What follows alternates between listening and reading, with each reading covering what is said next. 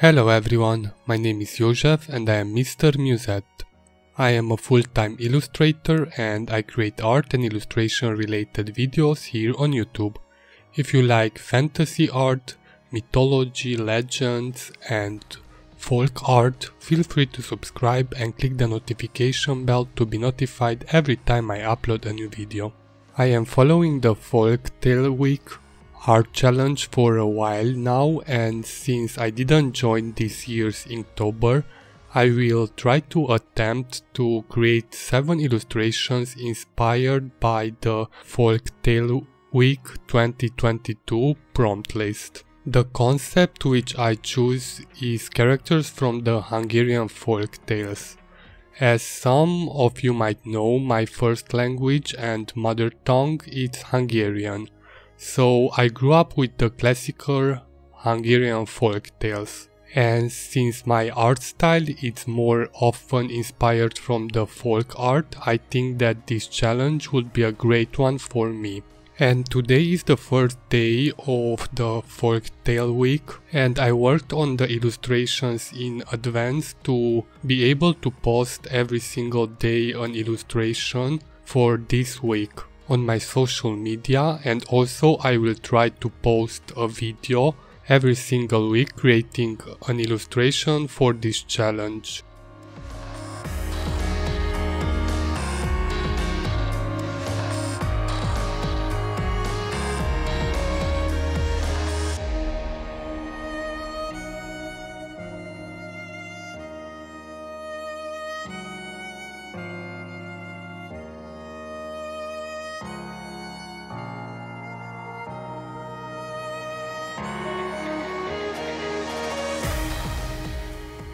The prompt for the first day is Fool.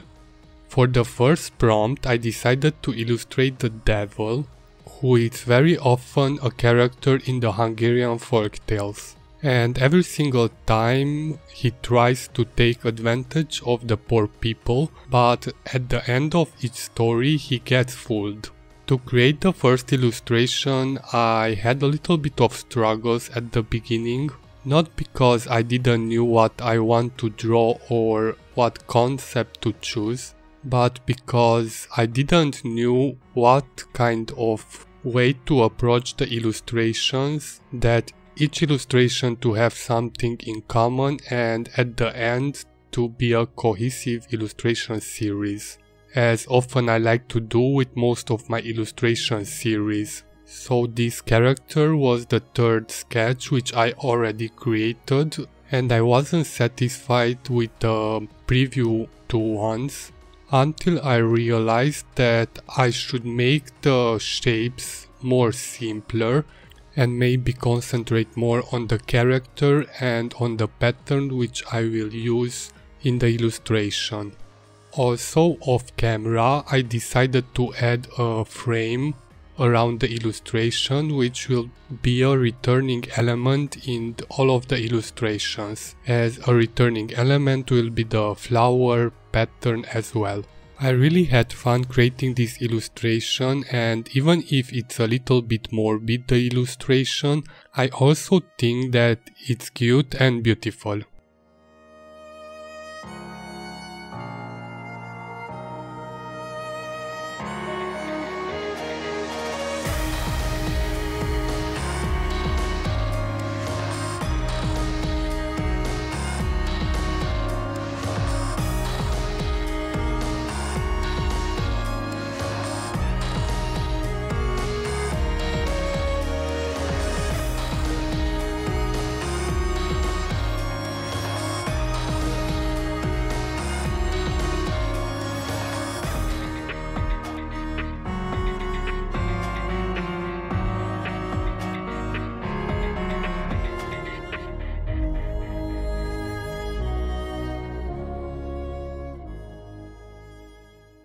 To create the final illustration, I used a mixed media Canson paper which is 300 GSM. For the line art I used black pigment liners from Staedtler.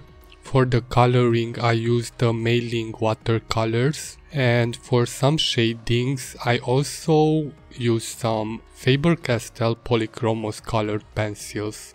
To finish up the illustration I colored in the background with black drawing ink and I added white stars with a white Gelly Roll pen.